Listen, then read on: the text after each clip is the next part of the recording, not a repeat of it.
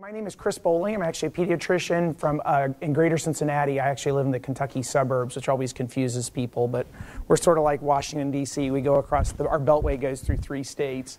So my practice is in the Kentucky suburbs, um, and I've actually gotten involved with obesity stuff over the years. Um, my practice is about 20 years old, but I've actually uh, been doing obesity work for about the past eight or nine years. Um, so what I'm going to talk about today, and this is a little bit of a hybrid talk. I, in 45 minutes, we can't be all that interactive, but I also don't want to. We've also been sitting and listening to a lot of lectures, so I want to make it a little bit interactive if we can. But I'd like to talk about Be Our Voice, which is a program that um, I participated in with NICHQ, um, and also kind of give you an idea on what the program is about, but also give you some of the tools that we exposed our obesity prevention advocates to who went through Be Our Voice. So let me tell you a little bit about it to start off with. First off, though, I'd like to also thank Charlie and Shika and Sandy, who are all here. Also, another uh, friend, Kim Edwards from Austin, who um, uh, was involved with Be Our Voice as well. Um, there were pretty clear objectives um, on what we were trying to do um, when we presented about Be Our Voice. We want to talk a little bit about community based action. We'll talk about some partners that you might engage, and we'll do a little bit of work so you can kind of start identifying potential partners if you're interested in this kind of work. So, what's the challenge? You know, Charlie mentioned it. We're trying to figure out how we, as healthcare providers or those of us involved in whatever we do, aren't out there by ourselves. You know, there's a lot of people who are interested in pediatric obesity, thank goodness, very different than it was 10 years ago. But um, we can't do everything by ourselves. And some people who, we were just talking about it right before we got started, that there are some people that, you know, don't uh, have a very strong voice that you might not even recognize that they have such a good voice. Um, and connecting with those people to kind of help push things along can be very, very important. There's another reason, you know, we all know the health, the health costs. Charlie hit upon this a little bit. One of the reasons, I mean, NICHQ is involved for a number of reasons, but one of the reasons NICHQ is eh, very involved with it is NICHQ really looks at um, healthcare quality and efficiencies, and the costs of obesity are kind of staggering. Estimated to cost 14 billion in annual direct and indirect health expenses. Children in Medicaid account for about 20% of that. Um, annual obesity-related hospital costs for children and adolescents were 238 million in 2005, doubling every year between two, doubling between 2003 and 2005, and the rate has continued to go up.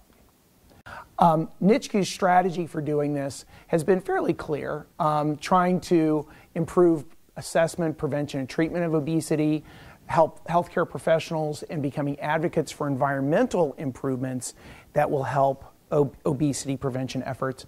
And also, NICHQ is sought to kind of be a resource for physicians and community members who are involved in change. So, Be Our Voice is one of many things that NICHQ has done. Um, and actually, here we are right here where Be Our Voice has kind of come to an end. It still exists in certain ways, and we'll talk about ways that you can still access some of the materials. Um, and like I say, we're going to go over some of the principles of it today. So Be Our Voice, along with other current NICHQ initiatives, what Our Voice was, was an initiative to train and engage healthcare professionals to be effective advocates for promoting environmental systems and policy changes for childhood obesity prevention in their communities. So we're not talking about the big piece here is, you know, we all know that we can change one patient at a time, hopefully, but what we can make a bigger impact if we can change the environment that we all practice and live in. So we're really looking at how can we as healthcare providers be empowered to make those environmental changes. Be Our Voice also focused on certain parts of the country, and it focused on my home state, Kentucky, but it also, we had people from Mississippi, Alabama, New Mexico, two groups from North Carolina, but they really focused on areas in the South. But what we learned from these groups, where the need was highest, are a lot of lessons and learnings that we can apply elsewhere. Um, NICHQ has a, a, an overarching philosophy, and we'll kind of go through this very quickly, of integrating across sectors, focusing on family based prevention, using a quality improvement approach, having a strong support structure in place, and again, promotion of policies, systems, and environmental changes. The six strategies that, that NICHQ uses to change communities are development of a community action plan, use of consistent messaging, participating both in and outside the healthcare setting, which again, we're talking about, you know, we're all kind of healthcare connected folks, but we're going to affect real change when we're able to cross cut and get out of those silos. Um, the healthy weight plan that, that Charlie mentioned a little bit, and then also building capacity of communities to be able to make change. So, what do we mean really by environmental change? And I think a lot of us know this, but it's worth it to kind of go over it again.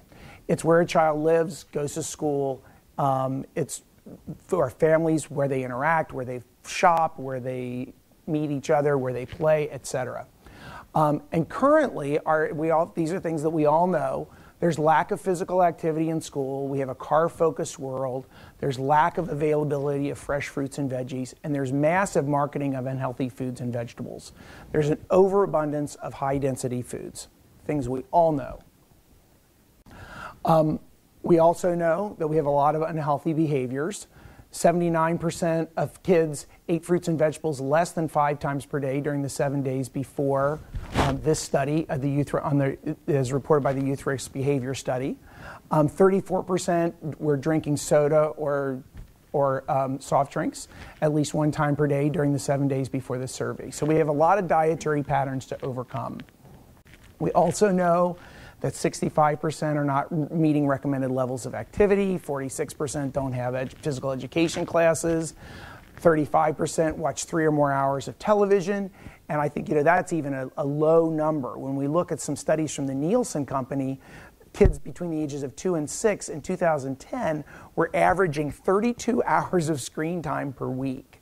So, you know, that more than four and a half, about four and a half hours per day of screen time in kids between the ages of two and six. The kids between the ages of 6 and 11 were still at 28 hours per week.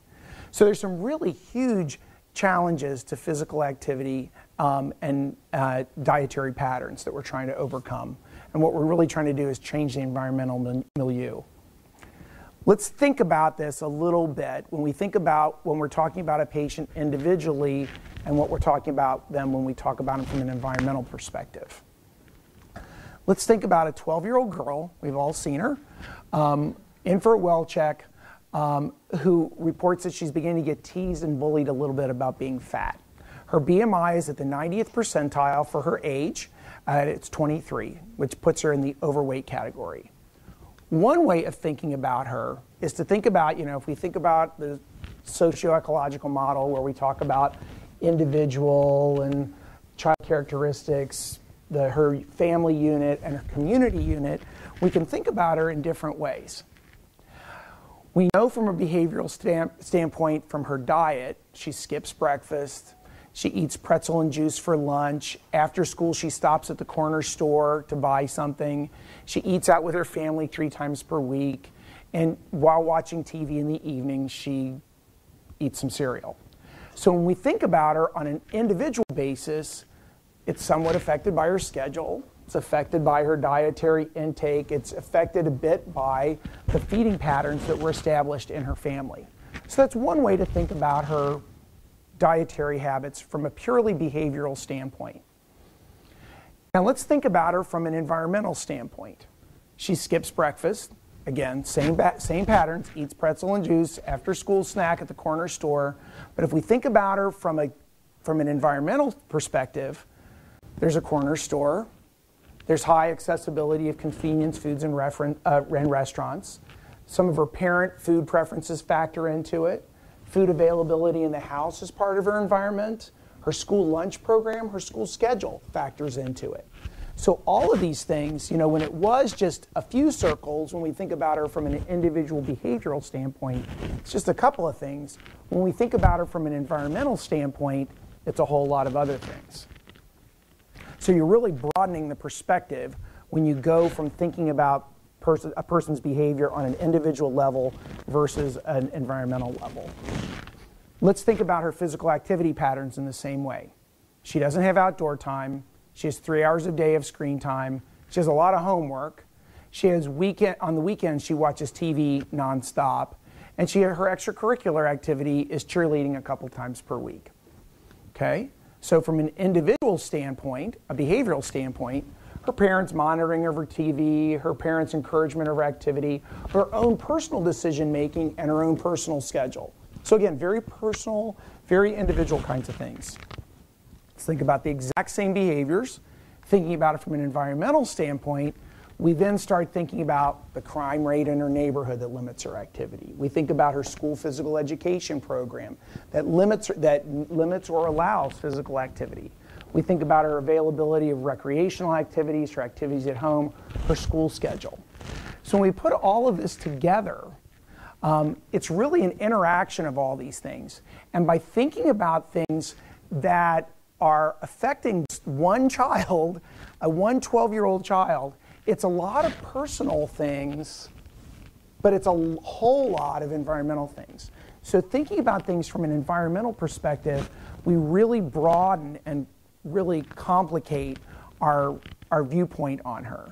So we really, when we're talking about this, this is where I think a lot of times we as healthcare providers, I know for me personally, I always get a little overwhelmed when I started thinking about environmental change because you'll get like people who will say, oh, it's availability of corner stores, oh, it's unsafe neighborhoods, oh, it's lack of transportation, it's all these things, and it just gets absolutely overwhelming. So when I show this slide, what we're talking about is just like it's, it's complicated. Um, and it is not um, easy to say, okay, we're going to do this one thing. But I would also say that small differences make a change. You know, we know, and this is a little bit getting at what Charlie was saying earlier, that it's very hard to use BMI to move the BMI needle. We need to look at some of our individual mo- movements that we're, that we're doing, and they're worthwhile. So, where do we come in as healthcare providers and healthcare agents in trying to change this overwhelming tidal wave going, coming at our kids? Well, healthcare professionals have a really important role to play. Um, we have a different voice than anybody else in the community, not the only voice, and sometimes not the most effective voice, but our voice is very important. Um, we are generally viewed as being pretty neutral. You know, we can kind of say things without being political one way or the other. We can say things because we're respected for our neutrality. Um, so you want to use your own personal Switzerland story to go out there and, and make a case. Um, you can also, I, I don't want to understate the importance of your own personal stories. Um, you know, there's a lot of people that you know can recite numbers and data, and that's very powerful and very important. But there's nothing like an individual story to tell. I have one story that um, um, I'm going to bore you with probably, but for me it was a very moving story. Um, a patient of mine named Andrew um, and Andrew, um, I had been working with him for ages and ages about his weight, um, and it kept going up and up and up and up. And his father had developed di- type 2 diabetes. I always tell the story of Andrew because he's somebody who really changed my view of weight management. I had assumed after he, it, when he turned 17, he decided to lose weight. He started exercising. He started eating more healthy. He's had a very regimented diet structure that he, that he embarked upon and had great success. So he came in afterwards, and I said to him, I said, Andrew, so what? I, I assume you saw your dad getting, you know, I know, I know your dad developing type 2 diabetes probably scared you into, into losing weight, and I'm really proud of you that you did this. And, you know, sometimes we have to have those wake up calls. And he said, Dr. Bolling, that's not at all what happened. He said, What happened was my dad's developing diabetes had something to do with it, but I was trying to demonstrate to him that he could do it also. So what I took as a very like self-preservation story was much more powerful than that. It was about him trying to help his father. And I think those kinds of stories are stories, for me, it was a pivotal moment for me in, in, in driving home that what I think is important isn't important all the time. But, and the kids are a lot more noble than we give them credit for. But um, I think those kinds of stories, we all encounter those. Those are important ones to, sh- to share with legislators and and others because that's really what we're encountering when we're out in practice. Um, the characteristics that I would say that we as healthcare providers have is we have that credibility that I was mentioning. We have strong relationships with community members, um, people that you, you know, members of your Chamber of Commerce, other physicians at the, at the hospital, all sorts of people. We have a skill set that actually we're pretty good at certain things. I mean, some things we're terrible at, but certain things we have really pretty good skill sets that help us uh, develop trust um, and inter- uh, interaction with others. And we also have some strength in numbers. You know, it used to be that there weren't that many of us that were involved, but the number of people at our conference today, there are loads of us out there. So you're not alone. There are a lot of other voices that people will be hearing. So adding your voice to the to the to the chorus makes a big difference. Um, the question I always get is, okay, yeah, that's great. I've got a patient every 15 minutes. How in the world am I supposed to fit this into my practice? And you can't always. And there are times in your professional life when, no matter what you're doing, if you're a physician, a social worker, a nurse educator, whatever you are, there are personal things that happen that prevent you from being able to do everything you think is worthwhile.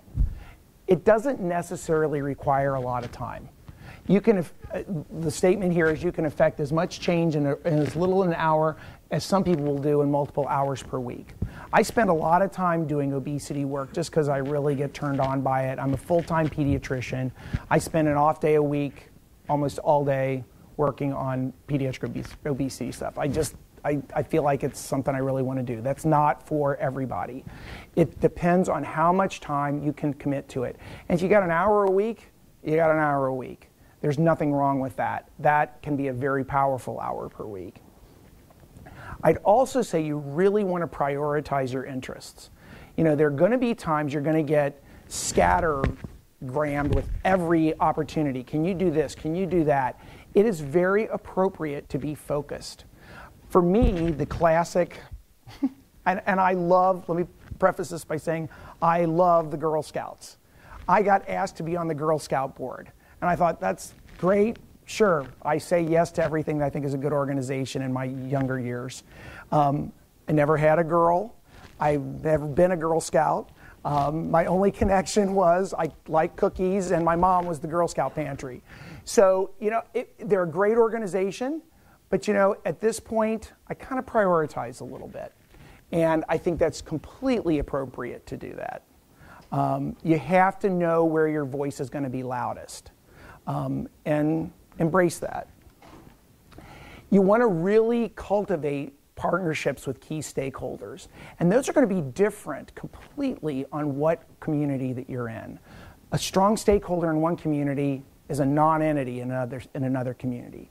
Taking the time to try to figure out, and you're going to guess wrong a few times, but taking the time to figure out who are the real power players and who are the real stakeholders around these issues is critical particularly when you move from small policy decisions or small advocacy roles to the bigger ones.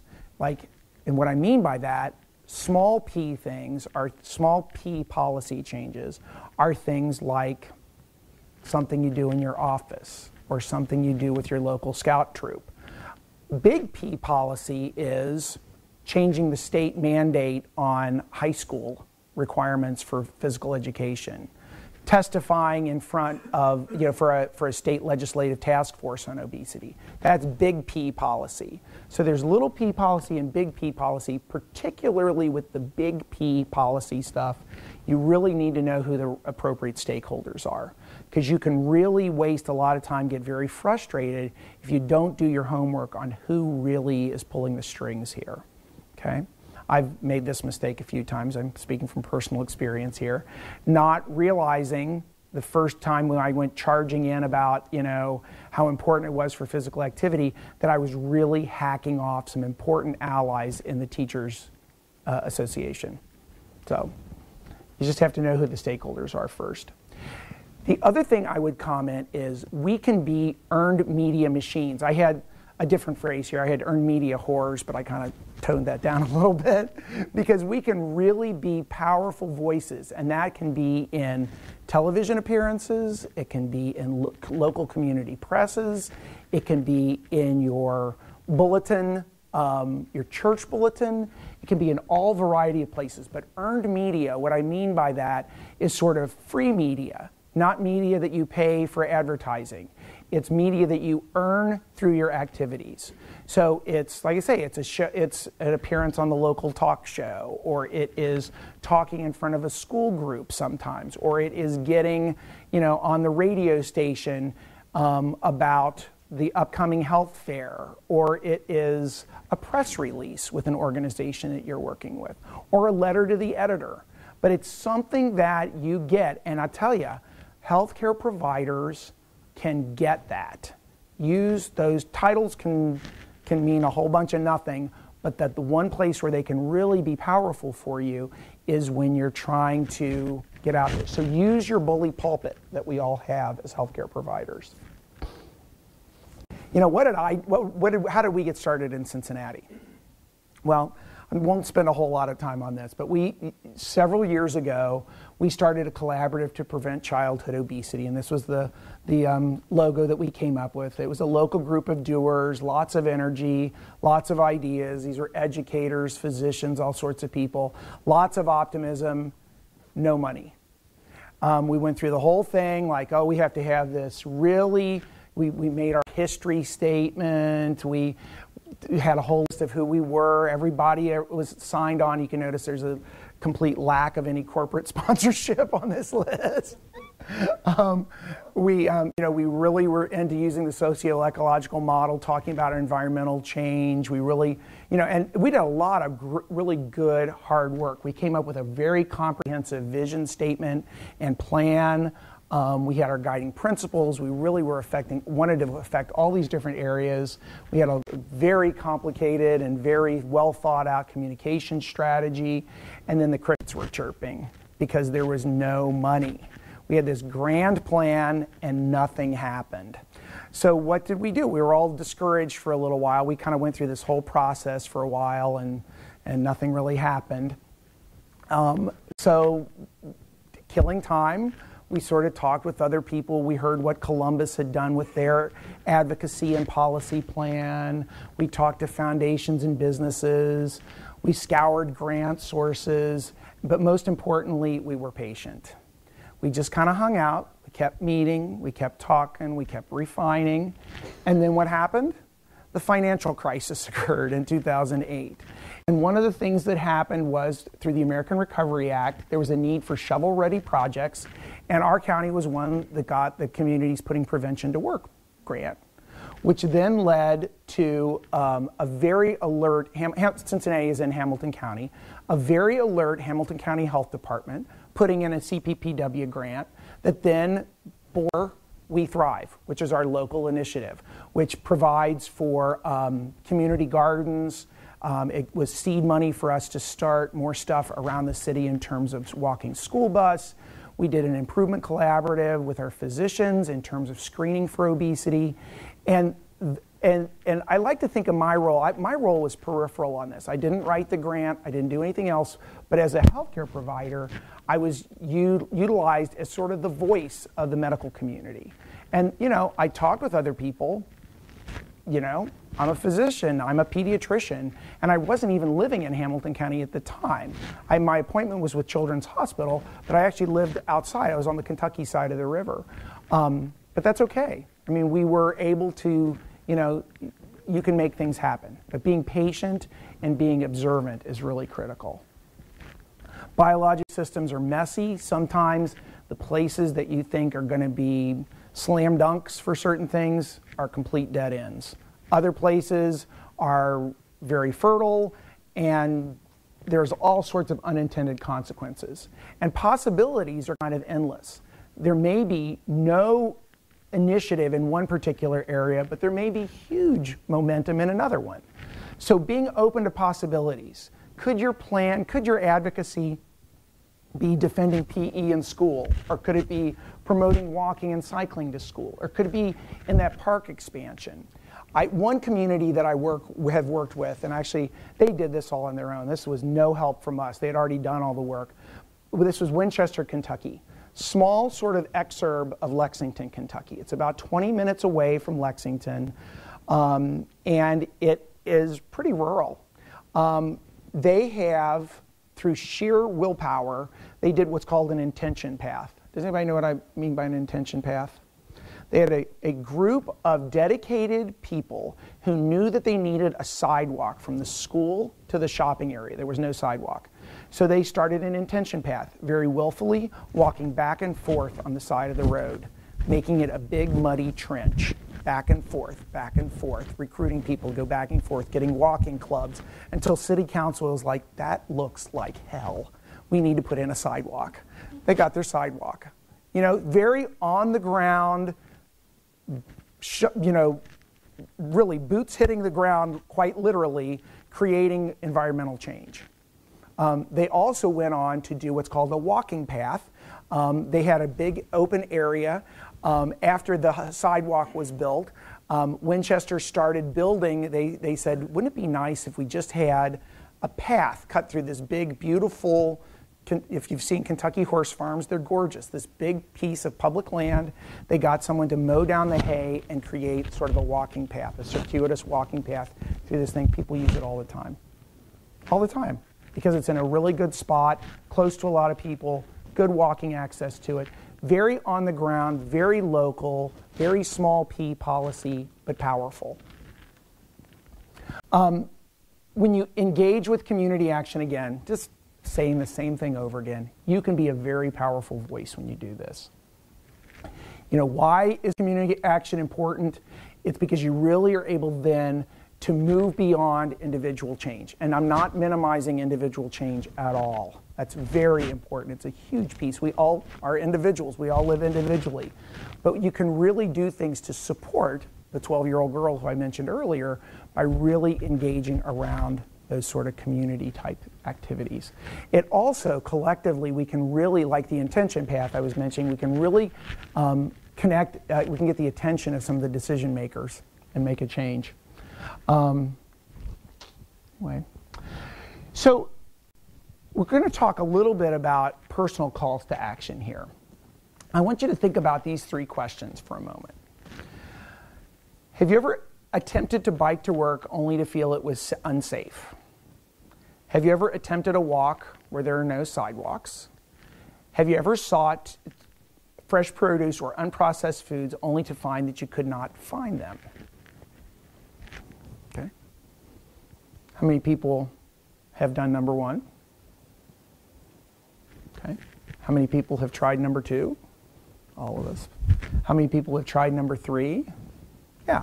Common, common occurrences. So, common opportunities that are out there. I'd like for you to also think for a second, you know, thinking about your own community and take off the hat of like what's, don't be practical for a minute. Be sort of starry eyed and idealistic for a minute. I want you to think about a six word bio. Um, you know, think about six words that define what you would like to see for your community from an obesity strategy, from an obesity standpoint. Okay? So, you know, you hear six word bios that people say, you know, like, for me, it's baby doc, ice cream, travel fiend. So, you know, it's like six words that describe me. So, think about six words, a six word bio for what you would like to accomplish in your ideal world. What would you like to be known for in your community from an obesity prevention or treatment standpoint? Okay. Anybody have one? Can I think of one?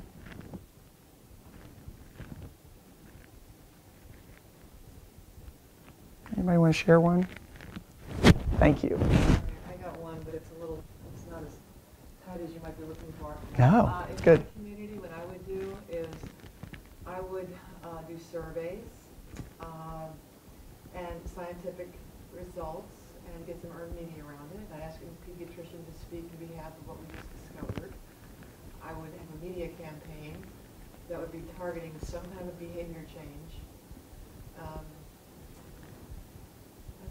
okay. Okay. Okay. Good. So earned media, pediatrician ad, or physician advocate or healthcare advocate? Yeah, I'm going to spend a lot of tobacco control. And what we do is we'll do like a community survey. And then we'll send out a press release that these are the results. This is what, most of the people said they were in favor of having this ban or that ban. And then we would always get, you know, three or four physicians, to- or, you know, people, stakeholders and physicians, to get up and speak at the press conference in behalf that would be supporting of those findings. So what turns you on is data acquisition, What turns me on is a comprehensive approach. comprehensive approach. So you've got media going, and you've got, you know, community stakeholders, you know, research, supporting, really targeting certain themes and changes that you want to see happen in the community. Mhm. Uh, So comprehensive approach. So doctors are doing their job at the clinical level. You got a media campaign supporting behaviors that, the outcomes that we're trying to get to have happen. We have earned media that's also getting in there. And we also have policy work. You have somebody passing laws about, you can't have that store that's selling all that food, uh, you know, right down, right next door to the school. You gotta, So sort of like comprehensive approach resulting in real outcomes. you know, Okay, good. Yes. The first word that popped in my head was confidence. Instilling confidence in the, in the folks you work with. Mhm. That a lot of the, um, some of these behavior changes are around, I think, confidence that, you know, having confidence in themselves to make some of these small changes. Mhm. you know? So it's just one, I mean, there's many other Mhm. ideas. But that was the first word that popped in my hmm know, hmm Yeah, it's like almost empowering them. Yeah. Uh-huh. resources, hmm access, and hope. hmm Excellent. And what's your community again, Donna? Rockport. Rockport. Yep. Yep. I just jotted down the first word that came to mind. It was access, resources, support, vibrant, relevant, and impactful. Great. Great. Yes. Um, So I got seven words, but uh, equitable opportunities, safe environments, and community buy-in. Yeah. Excellent. Excellent. I wrote down link groups for visible actions. Excellent. Excellent.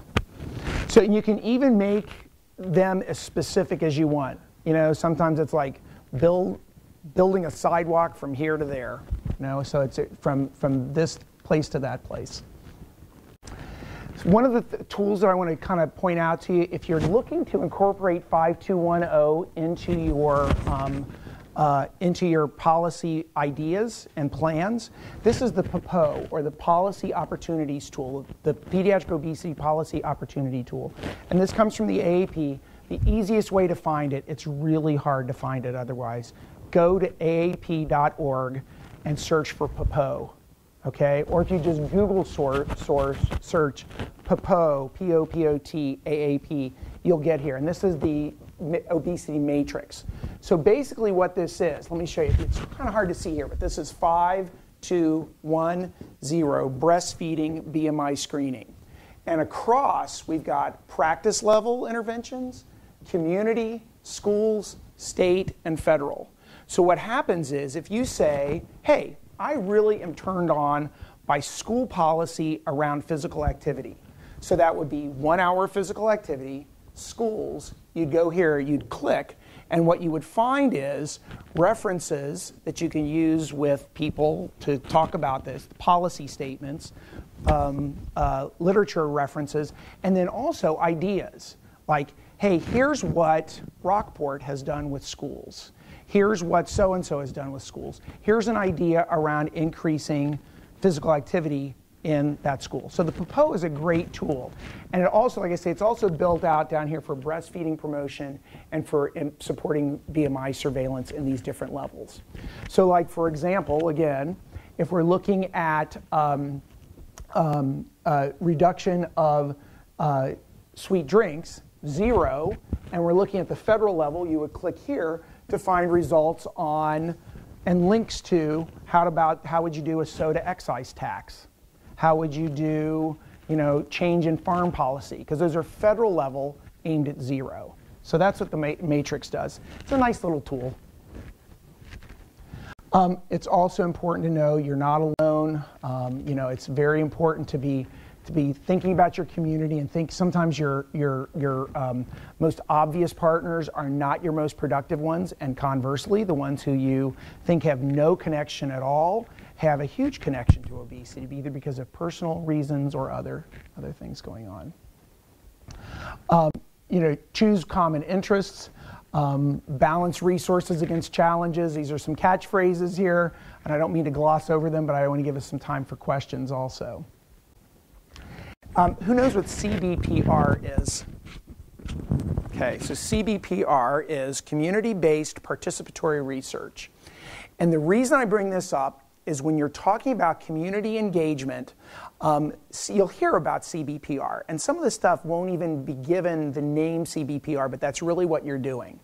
This is an area that grew out of action research. And what this means is it's, we're interacting with communities, finding what they want, not only what we think as healthcare providers they need.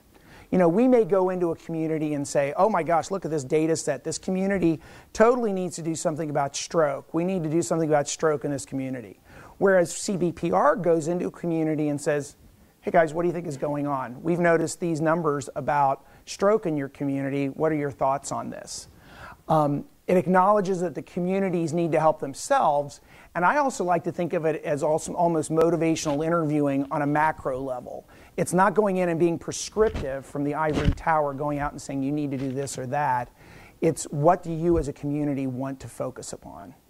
Um, the reason I put in here the CTSA, the National Institutes of Health supports a lot of CBPR type activities, which are very, lend themselves very much to um, uh, policy and advocacy, advocacy kind of projects um, through what's called the CTSA or the Clinical Translational Science Awards. So, for those of you who are in one of those communities or close to those communities, you can find those on the NIH website and might be a little bit more prone to that.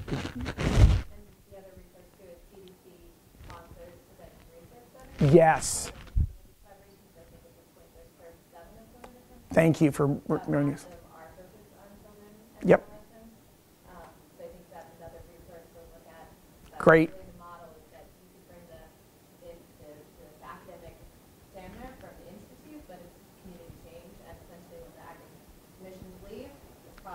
Keeps going because it's what they wanted in the first place. So the important lessons, the obvious connection is not always the most fruitful one. You know, you want to figure out what who are your best collaborators. Your content expertise is sometimes most valued out of your own area. You know, we go through this, you know, and I'll start throwing out terms like HEDIS and CBPR, and I think everybody understands what's going on. Those are things that, you know, we talk about all the time as healthcare providers that a lot of people don't know. We can have a very powerful voice and bring some really unique perspective to things that you kind of take for granted. Integration at the strategic level that informs integration at the family level is rewarding. What do we mean by that? It means that um, we need to be thinking about our strategy, where, how we're going to accomplish it, and not only about um, and that and that doing that really brings it down to individual families for us.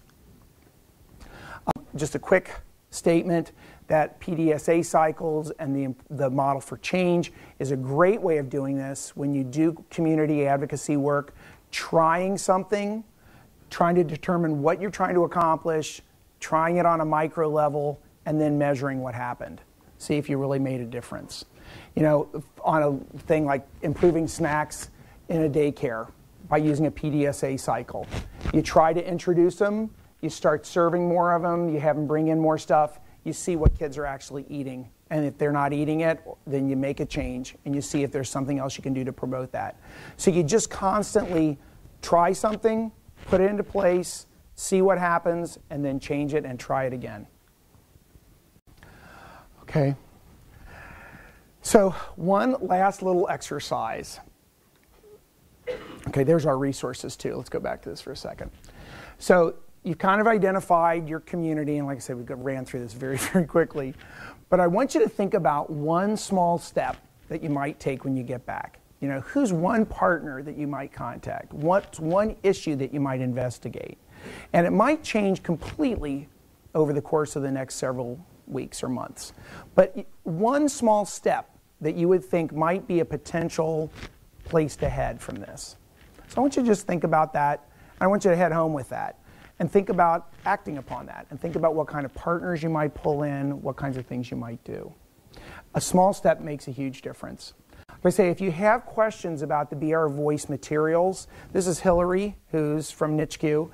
Um, if you contact us uh, or contact me, we can get you in contact with the Be Our Voice materials and guides. If you have a very motivated community, you're looking for some advice on these issues small p policy, big P policy, the PPO. Um, how, what are some strategies for getting earned media? What are some opportunities? Feel free to contact us either through the NICHQ website or through my personal email.